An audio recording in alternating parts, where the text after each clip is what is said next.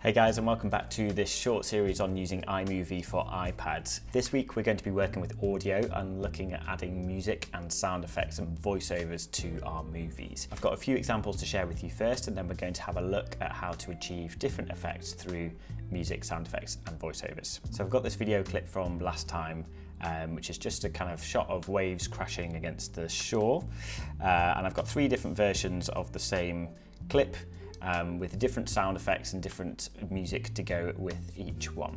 So the first one is kind of a dreamy, kind of picturesque landscape, uh, nice and calm and peaceful.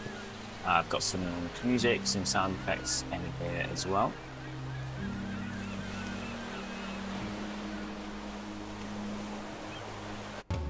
Next one is more of a kind of dramatic feel to it.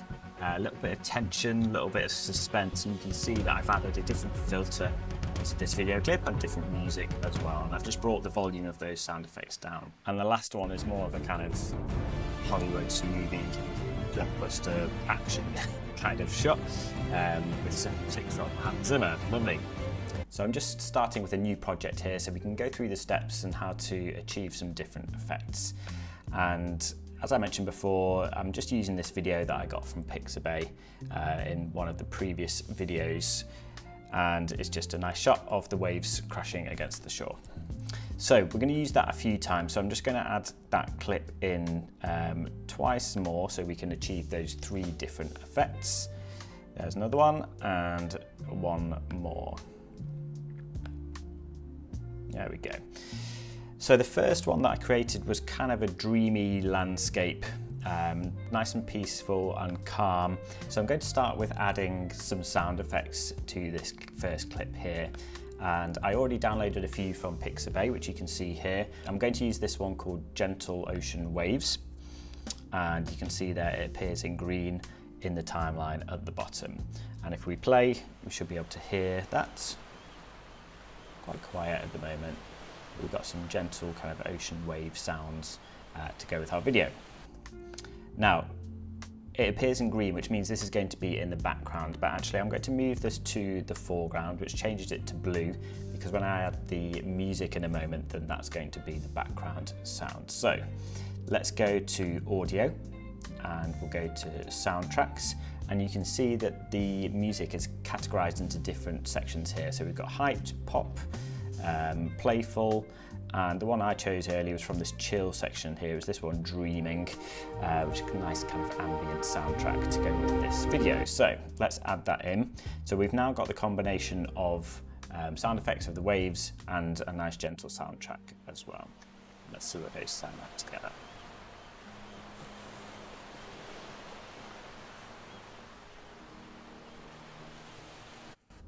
Great, so at the moment the music's a little bit quiet, so I'm just going to tap on that and go to the volume section. I'm just going to raise it up a little bit above 100% uh, to see what that sounds like. Let's have another listen. That's good, so now the music's a bit clearer. You've got that balance right, but you can play around with that and see, uh, see how that works.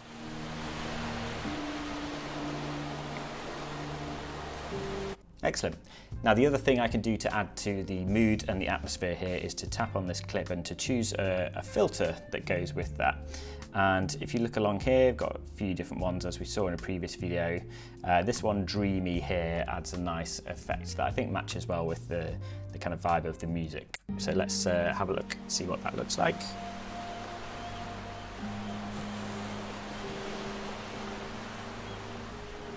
Yeah, that's good. I'm happy with that. Okay, so let's, um, I'm just going to um, trim this down a little bit here so it just matches with that first clip and we'll do the same for the music as well.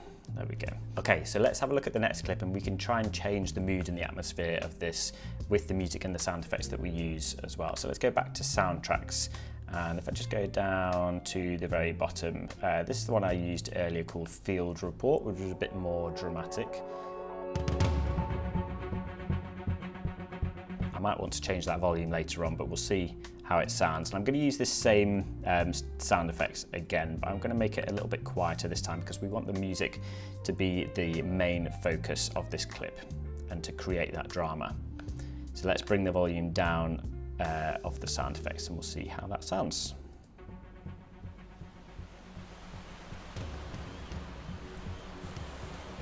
Okay, yeah, so we're going to need to bring the volume of the music right up like we did before. There we go. So we can still hear the sound of the waves in the background, quite low down, quite quiet, and the music is the real focus. Now we can also add a filter to this clip um, to add to that dramatic effect as well. I'm going to use Blast for this one. You can see it kind of darkens it, livens it up a little bit.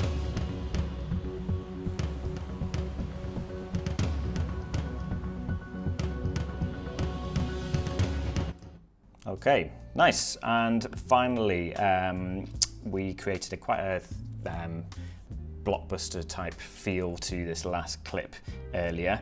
Um, and I used uh, this here, this soundtrack by Hans Zimmer, very famous film composer. Um, so I'm going to add that in here. Oops, it's just replaced the other one. So let me uh, let me try that again. We'll um, we'll narrow this down. We'll just cut that down to the first uh, the second clip there, and then we can add Hans in there. Let's have a look. Awesome. Okay, so yeah, very uh, inspiring music there. We're going to lift that up a little bit here. And I'm not going to include any sound effects in this last one. I think it works without it.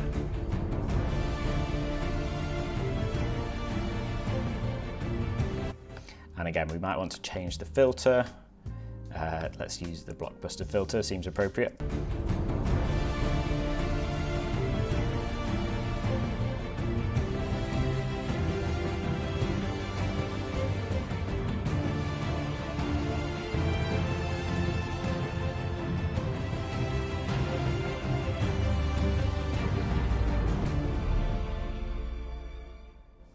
You notice as well that iMovie automatically adjusts the length of the music to match with the video clip as well, which is something I really like. So there we go, we've got three very different feeling um, clips there with different music. Um, there is also a sound effects section in iMovie. Um, quite limited really, there's not so much available here. We might want something like uh, maybe some seagulls in there for that first one. We'll just bring that sound down a little bit so it's not too overpowering.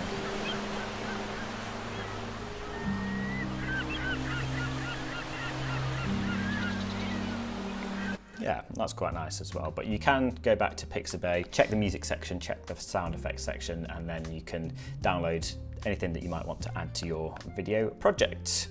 Uh, one last thing on audio um, is this tool here, which is the voiceover tool.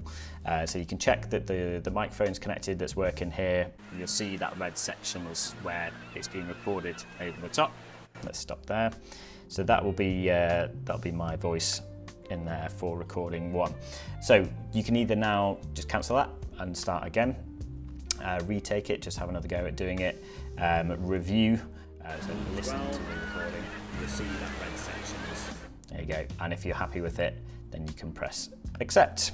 And then you've got all the normal adjustments down here, such as cutting uh, the, the track, changing the speed, changing the volume.